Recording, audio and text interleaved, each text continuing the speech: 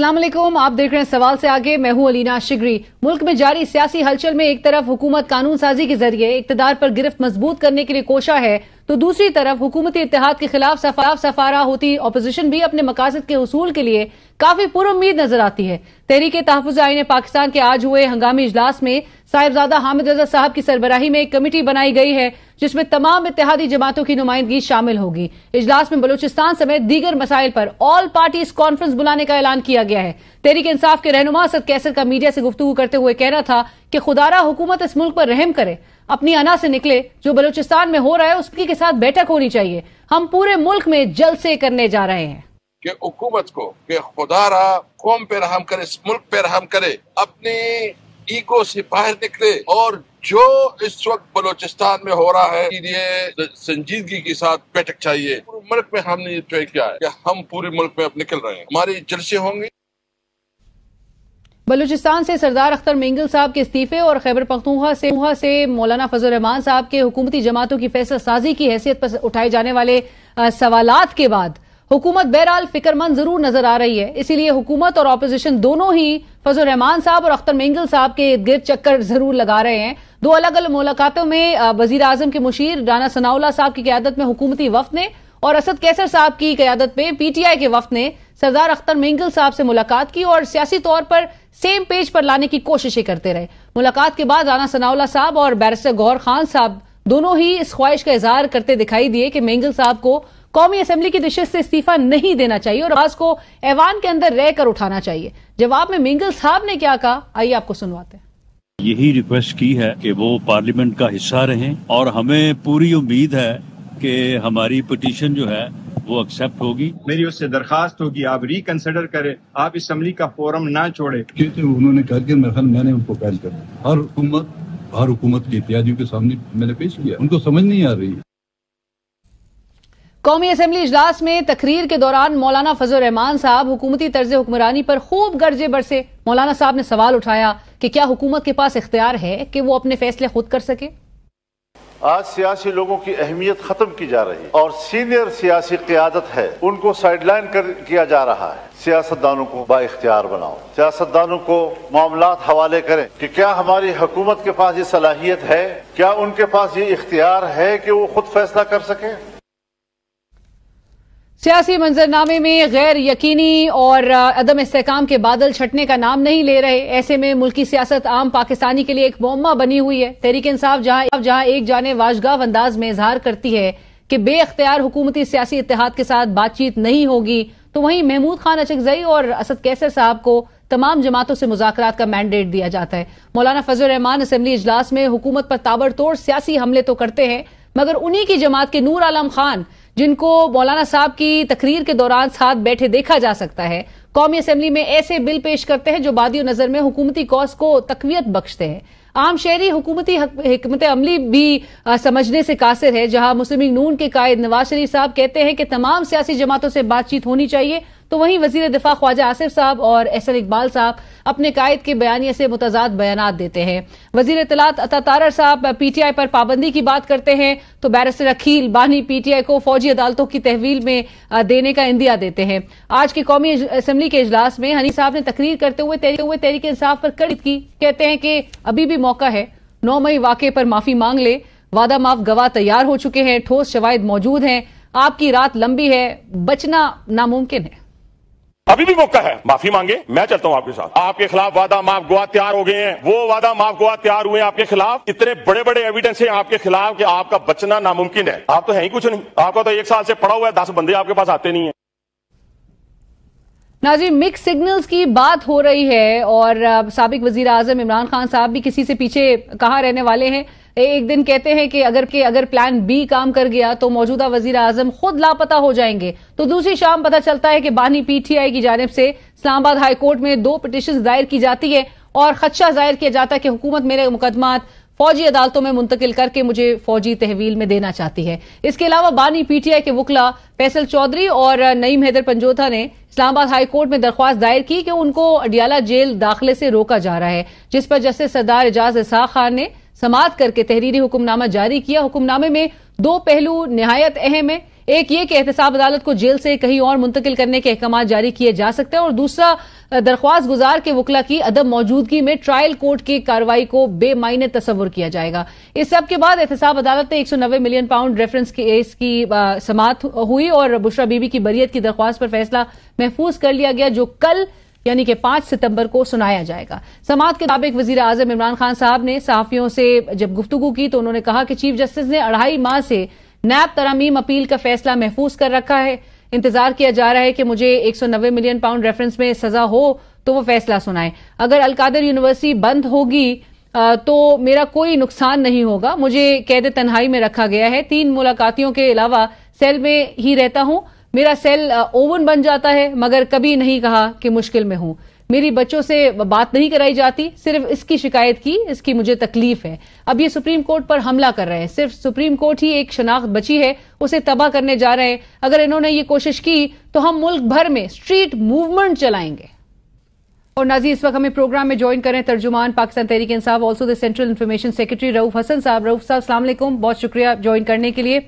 रऊफ साहब आज thank you thank you for your time sir Rauf sahab आज बड़ी इंपॉर्टेंट डेवलपमेंट्स हो रही थी एक तरफ़ अख्तर मिंगल साहब से मुलाकातें हो रही थी हुकूमत का वक्त भी गया था पाकिस्तान तहरीक इंसाफ का वक्त भी बशमूल आपके आप उसमें शामिल थे तो हम शुरू उसी बात से करेंगे और फिर मैं जरा एपीसी का जो बुलाने का फैसला किया गया है ऑपोजिशन अलायंस के जो आज इजलास हुआ उसमें उस पर भी आपके कमेंट ज़रूर चाहूँगी but beginning with Akhtar Mengal sahab के साथ जो मुलाकात हुई क्या निकला उस मुलाकात में रऊ साहब रऊ साहब हम गए थे जी हमारा पीटीआई का वक्त सुबह गया है उनको कॉल ऑन किया बारह बजे हमारी उनके साथ मीटिंग हुई थी। असद कैसर साहब थे उसमें उमर अयूब साहब थे आमिर डोगर साहब थे हमारे साहबजादा हामिद रजा साहब थे और मैं था जी पाँच मेंबर्स का डेलीगेशन था।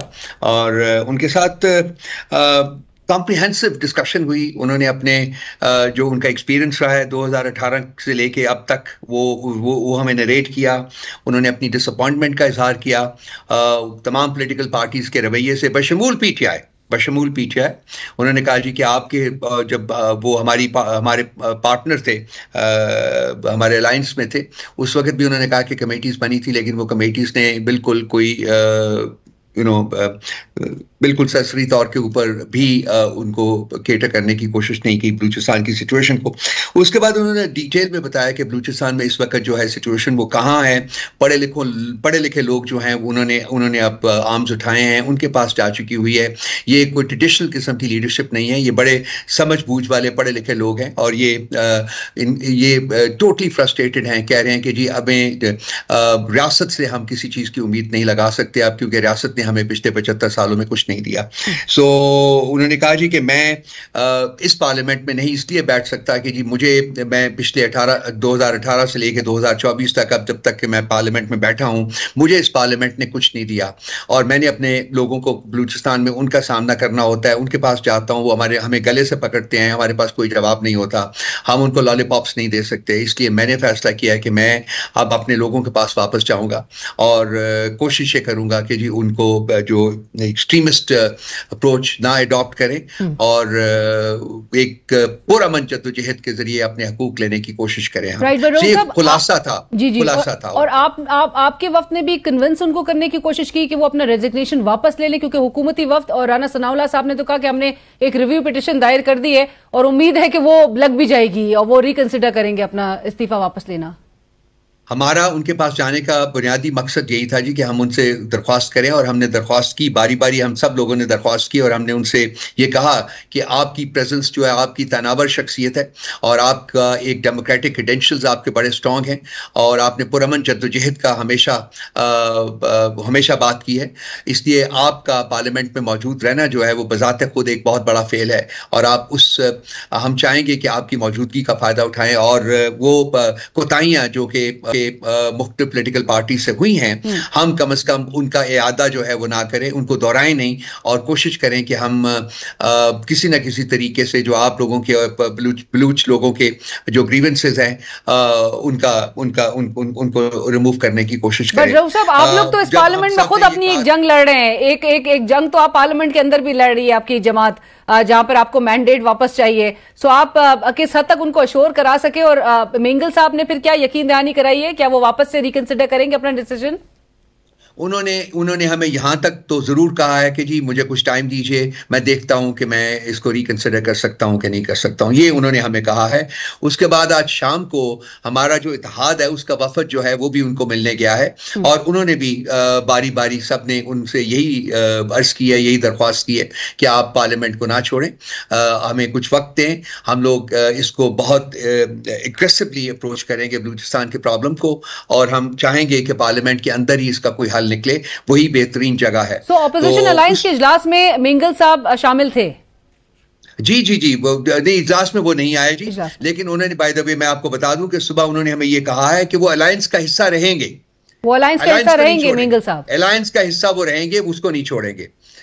Right. तो शाम को शाम को उनका उनका डेलीगेशन आया हुआ था उनके रिप्रेजेंटेटिव्स आए हुए थे हमारे पास hmm. खुद नहीं आ सके क्योंकि उनके पास कुछ और लोग आए हुए थे इसी सिलसिले में जो कि मुझे नहीं पता एग्जैक्टली कौन थे लेकिन उन्होंने कहा था कि वो नहीं पहुँच सके लेकिन हम हमारा वफद वफद जो है अपने इजलास के बाद आज शाम को आ, फिर उनके पास गया था और उन्होंने भी उनसे ये रिक्वेस्ट किया जी कि वो अपना फैसला ये जो बलूचिस्तान के मामले पे भी जो ऑल पार्टीज़ कॉन्फ्रेंस बुलाने का फैसला किया गया है और हामिद रजा साहब की सरबराही में जो कमेटी बनाई गई है।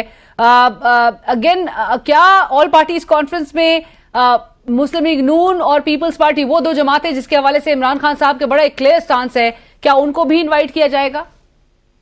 देखिए ये आ, हमने एक कमेटी इस वक्त बनाई है जिसको कि जैसा कि आपने कहा है कि साहिबजादा हामिद रजा साहब उसको लीड करेंगे। इसको एक हफ़्ता दिया गया है और ये आ, जो लाया अमल है पार्टी का आ, होना चाहिए। उसके बारे में एक हफ़्ते के अंदर अंदर प्रेजेंटेशन करेगा दोबारा कमेटी के सामने। और इसके जो इनको इनको एक और टास्क जो दिया गया वो ये जी कि हम बलूचिस्तान के मसले के ऊपर और और जो सिमरिंग प्रॉब्लम्स है पाकिस्तान के मसाइल मस, पाकिस्तान की सिचुएशन में उनके ऊपर हम एक ऑल पार्टीज़ कॉन्फ्रेंस करवाना चाहते हैं। ऑल पार्टीज़ का लफज जो है वो ऑल इनकम्पसिंग है। लाजमी बात है कि जब ये ऑल पार्टीज़ कॉन्फ्रेंस होगी तो ऑल पार्टीज़ की इनपुट के साथ होगी और इसमें तमाम पोलिटिकल पार्टीज़ जो है वो शामिल होंगी। तो नवाज़ शरीफ साहब भी अगेन उन्होंने भी यही सजेशन कुछ रोज कबल तो दी है रहू साहब। सो आप लोग अब एक एक एक पेज पे एटलीस्ट नज़र आ रहे हैं सारे। आप किन के प्रपोजल की बात कर रही नवाज़ शरीफ साहब ने भी तो ऑल अक्रॉस द बोर्ड वो कह रहे हैं कि तमाम स्टेक होल्डर्स को ज़िक्र हुआ है। इसका आज जब हम प्रेस कॉन्फ्रेंस कर रहे थे तो इसका महमूद अचक सही साहब ने ज़िक्र भी किया है हम्म। कि जी नवाज़ शरीफ साहब को की पोलिटिकल पार्टी के अंदर से लोग अब इसको डिनाई कर रहे हैं। और वो गलत डिनाई कर रहे हैं क्योंकि मेरे पास कंफर्म सर्टिफाइड इंफॉर्मेशन है कि उन्होंने बिल्कुल कहा है कि तमाम पोलिटिकल पार्टीज़ को अपना रोल प्ले करना चाहिए। बशमूल पीटीआई के उन्होंने बाकायदा कहा है बशमूल पीटीआई तो ये सब आप भी कह रहे हैं कि जो एपीसी आप लोग ने बुलाने का फैसला किया है उसमें पाकिस्तान मुस्लिम लीग नून शामिल होगी। जो उसमें हम तमाम पॉलिटिकल पार्टीज़ को ऑल पार्टीज़ का मतलब यही है, तमाम पॉलिटिकल पार्टीज़ को विदाउट डिस्टिंक्शन हम इनवाइट करेंगे। Which is very positive I think ये बहुत ही एक खुशाइन बात है कि अगर आपने और पाकिस्तान तहरीक इंसाफ ने डिसाइड किया कि तमाम पोलिटिकल एंटिटीज को एक पेज पर होना चाहिए मुल्की मसाइल के को हल करने के हवाले से और मुल्क को इस क्राइसिस से बाहर निकालने के लिए। बरूफ साहब, जहाँ पर एक कंट्री वाइड प्रोटेस्ट की भी बात की गई है जल से असद कैसर साहब भी ज़िक्र कर रहे थे and also in favour of judiciary आपको तो एक तरफ़ जलसे करने की इजाज़त ही नहीं दी जा रही है रोहू साहब। आपके सामने है बाईस का, और आपने अगले रोज ही मेरे प्रोग्राम में कह रहे थे बाईस की आप लोग को कहा गया कि जी कैंसिल कर दे, और इस साथ इस गारंटी के साथ कि आपको आठ सितंबर का जलसा करने दिया जाएगा। बैरिस्टर अकील साहब ने आपके ही बात के जवाब में उन्होंने कहा कि जी, आप खुद आठ सितंबर का जलसा कैंसिल करने के लिए हमें कह रहे होंगे। वो किसी सूरत में कैंसिल नहीं होगा। हमारी हमारी हमारी टीम और डिप्टी कमिश्नर के दरमियान ऑलरेडी दो मीटिंग्स हो चुकी हुई हैं। वेन्यू जो है उसका भी वो संजानी के करीब है। वो भी जो है उसका भी सिलेक्शन हो चुकी हुई है। और आज शाम को जो कांटेक्ट हुआ है उसमें उन्होंने कमिट किया है कि जी कल आप, आपको रिटर्न परमिशन हम इस जलसे की दे देंगे। उन्होंने रीश्योर किया जी कि हमारी तरफ़ से किसी किस्म का कोई प्रॉब्लम नहीं होगा। सो कल का इंतज़ार है कल का इंतज़ार है लेकिन मैं हम ये बड़ा क्लियर करना चाहते हैं नो ऑब्जेक्शन सर्टिफिकेट और no no objection certificate the fact is के आठ का जलसा पोस्टपोन नहीं होगा। वो आठ सितंबर को जलसा होगा। इसके अलावा बारह सितंबर को कड़क में जलसा होने जा रहा है। बाईस सितंबर को लाहौर में जलसा होने जा रहा है। और एक सीक्वेंस ऑफ़ ऐसे जलसे जो हैं और पूरे मुल्क में आ, वो वो वन आफ्टर दी अदर हम कहेंगे। और फिर थोड़े अरसे में हम ये चाहेंगे कि हर रीजन में आ, लोकल लोकलाइज जो जलसे हैं वो भी हर हफ़्ते की बेसिस के ऊपर हों। तो ये अब जलसों का जो सिलसिला है वो किसी की नो ऑब्जेक्शन सर्टिफिकेट ना देने की वजह से रुक नहीं सकेगा वो हम हर सूरत में आगे बढ़ाएँगे राइट रऊ साहब मुझे क्विकली ये भी बताइएगा कि मौलाना साहब चूँकि आज वो भी तकरीर करे थे असेंबली में आ, उनके भी जो कंसर्न्स है more less PTI is also aligned on the same parliament के हवाले से इलेक्शंस के हवाले से जो वो रिजर्वेशंस अपने उसका इजहार टाइम एंड अगेन करते रहे हैं। बट मौलाना साहब के हवाले से आ, आपको किस हद तक फियर है कि वो साइड स्विच करते हुए भी दिखाई दे सकते हैं in favour of the government देखिए मौलाना साहब के साथ हमारे ताल्लुकात जिस नहज पे थे उससे जहाँ हम आज खड़े हैं वो एक बहुत बड़ी इंप्रूवमेंट है। तो हम उनके साथ इन टच है। हमारी सब कमेटीज बनी हुई हैं एक सेनेट के अंदर एक नेशनल असेंबली के अंदर और वो सब्जेक्ट टू सब्जेक्ट की बेसिस के ऊपर कंसेंसस डेवलप करने की कोशिश करती हैं। तो ये एक अच्छा आगाज़ है। अब हमारी कोशिश ये है कि जी इसको आगाज़ को इस आगाज़ को हम और ब्रॉडन करें और इसको और बढ़ाएँ और इसको और डीपन करें और मेरा ख्याल है कि वक्त उसमें दरकार होगा वक्त के साथ साथ मेरा ख्याल है कि हमारा मौलाना साहब के साथ ये जो ताल्लुक है ये और मजीद मज़बूत होगा और इसको ब्रॉडन किया राइट बरूफ साहब बेहतरी ताल्लुकात में ज़रूर आ रही है पर अभी तक आप उनको इस हद तक कन्विंस नहीं कर सके कि वो अपोजिशन इतिहाद का हिस्सा बने। वक्त भी जा जाके उनसे मुलाकातें कर रहे हैं कोई उनको बंदूक गिफ्ट कर रहा है सदर मुमलिकत तो वज़ीर आज़म जाके उनसे मुलाकात कर रहे हैं और ताउन के लिए नेचुरली उनकी उनकी तरफ़ देखा जा रहा है। देखिए, ये बात तय तय हो चुकी हुई है कि जे यू आई फजल रहमान साहब और पीटीआई के दरमियान ताल्लुक जो है वो बायलैटरल होगा। वो इतिहाद का ताल्लुक नहीं होगा जे यू आई पी के साथ। मुझे नहीं पता कि मैंने आपके किसी प्रोग्राम में बताया कि नहीं बताया लेकिन ये फैसला कुछ देर पहले हो गया था। सो so, उनके साथ हम बायोलेट्रल बेसिस के ऊपर ताल्लुक अपना जो है वो इस्तवार कर रहे हैं right. और वो बायोलेट्रल बेसिस के ऊपर ही उसको आगे बढ़ाया right. जाएगा। PTI and J U I right Rauf sahab आज हनीफ अब्बासी साहब भी जो असेंबली में बात कहे थे आपका भी ज़िक्र किया उन्होंने। उन्होंने कहा इंडिविजुअल्स जो है तर्जुमान पाकिस्तान तहरीक इंसाफ कहते हैं कि इंडिविजुअल्स स्टैब्लिशमेंट से इन टच है, उनसे रबते में है और साथ साथ उन्होंने ये भी कहा कि नौ मई के हवाले से वादा, माफ़ गवाह तैयार हो चुके ये प्लानिंग के तहत आपने ये ये ये वाकयात हुए हैं और साथ साथ वो ये भी कहते हैं कि अभी भी वक्त है, माफ़ी मांग लें, मैं माफ़ी दिलवा दूँगा प्राइम मिनिस्टर की इसमें ज़रूरत नहीं है। देखिए मैं नहीं चाहता कि इस किस्म के लोगों की इस किस्म की गुफ्तगु का कोई जवाब दूँ। हम जो कर रहे हैं वो हम कर, करते रहेंगे। हम एक डायलॉग चाहते हैं और हम इस्टेब्लिशमेंट के साथ डायलॉग चाहते हैं और ये जो ऑल पार्टीज़ कॉन्फ्रेंस हम बुला रहे हैं हम प्रैक्टिकल स्टेप्स ले रहे हैं हम पोलिटिकल मूवमेंट जो है उसकी तरफ़ जा रहे हैं ये हम सब कुछ करेंगे। जहाँ जहाँ तक रहा नाइन्थ ऑफ़ मे का सवाल हमारी कंटेंशन बड़ी क्लियर है कि और रही है कि एक empowered fully empowered independent judicial commission बनाइए जो इसकी तह में जाके ये फैसला करे कि कौन से लोग जो हैं वो रिस्पॉन्सिबल हैं उसके और उसके बाद जो है माफ़ी मांगनी है या नहीं माफनी उसका उसका उसका फैसला उसके बाद होगा। अभी तक तो किसी किस्म का कोई प्रूफ जो है वो नहीं पेश किया जा सका कोई सीसीटीवी फुटेज नहीं है किसी जगह की भी। कहते हैं कि सौ इंस्टॉलेशन के ऊपर हमले हुए थे कम अज कम चले चार पाँच छह सात की दिखा दें कुछ भी नहीं है। तो किसी के कहने की बेसिस के ऊपर तो इस मामले में और आगे नहीं बढ़ा जा राइट और राउत साहब आखिर में सिर्फ़ इस बात का क्विकली मुझे जवाब दे दीजिए। गुजशत रोज वज़ीर दिफा ख्वाजा आसिफ साहब ने ये इंकशाफ किया है कि इमरान खान साहब तो बज़ाहिर ऐसा लग रहा है कि जेल से वो हुकूमत चला रहे हैं। आ, उनके पास थर्टी थ्री हंड्रेड वो जो तैतीस सौ नोकिया मोबाइल का उन्होंने ज़िक्र किया जो कि दुनिया भर का एक महफूज तरीन मोबाइल कंसिडर किया जाता है वो वो इस्तेमाल कर रहे हैं रबते के हवाले से। आपसे तो नहीं रबता कभी किया उन्होंने तैतीस सौ के ज़रिए। अगर उनको पता है कि वो ये मोबाइल इस्तेमाल कर रहे हैं तो वो उन्होंने फिर उनको किस रूल के तहत ये मोबाइल दिया हुआ है? तो ये लोग रिस्पॉन्सिबल है ना, ये खुद वायलेट कर रहे हैं। इन्होंने क्यों नहीं उनसे वो मोबाइल वापस लिया? या ये किसी अरेंजमेंट के तहत इन्होंने मोबाइल दिया हुआ है? तो ये कहना इनका जो है, ये तो खुद इनको, खुद इम्प्लीकेट करता है एक जुर्म में, ख्वाजा आसिफ साहब को। तो मेरे मेरी इंफॉर्मेशन के मुताबिक खान साहब के पास कोई ऐसी कोई ऐसी इम्प्लीमेंट नहीं है कोई ऐसा इंस्ट्रूमेंट नहीं है जिस जिस इन्वायरमेंट में उनको रखा जा रहा है वो खुद एक शर्मनाक फेल है हुकूमत का। जिसका आज उन्होंने ज़िक्र भी किया। Thank you so much Hasan sahab. बहुत शुक्रिया आपके वक्त का सेंट्रल सेक्रेटरी तर्जुमान पाकिस्तान तरीके साहब। रऊफ हसन साहब, इस वक्त हमसे गुफ्तु कर रहे थे और इसी के साथ ही बढ़ेंगे एक ब्रेक की तरफ़। ब्रेक के बाद हमें ज्वाइन करेंगे जनाब एतजाज एहसन साहब सीनियर माहिर आइन कानून, और उनसे मजीद गुफ्तु करेंगे। ये जो ज्वाइंट सेशन बुलाने की बातें हो रही हैं अगले रोज तो कल के रोज तो नहीं हो गए बहरहाल लेकिन आइंदा हफ़्ते में अगर ये बुलाया जाता है तो क्या सरप्राइज़ हुकूमत दे सकती है? इस पर गुफ्तु होगी एक ब्रेक के बाद।